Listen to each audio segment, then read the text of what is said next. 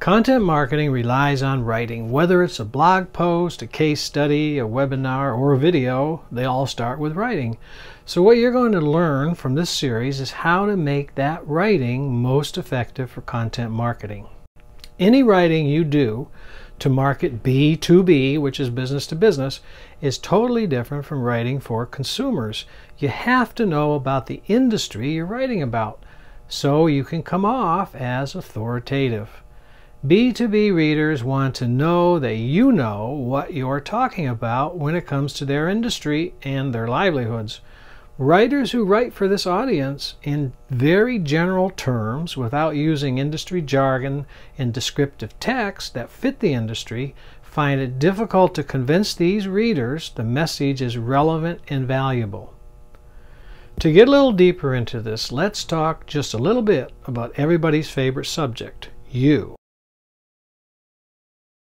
If you are viewing this, then you likely work for a company that sells to other companies, or you sell your writing services to companies that sell to other companies.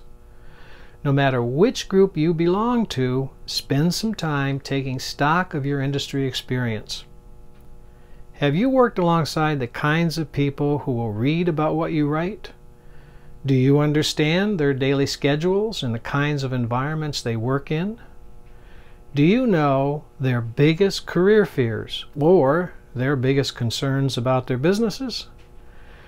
When you can answer these questions and others that shed light on your audience's interests and needs, and you know the ins and outs of your audience's business, then you're well on your way to producing compelling, interesting, and authoritative content for your B2B audience. Now, if you don't have first-hand experience in the industry you're going to write about, then you need to learn all you can as fast as you can. Start with the basics. Who are the people who make up your audience? Where do they currently get their industry information?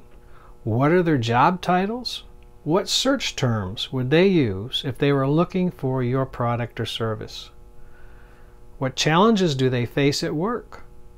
What news of the day is most interesting to them?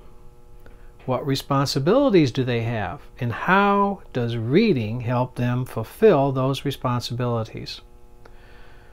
If you're writing as part of your role in a company selling to other companies, then the people all around you can provide a lot of information about your audience.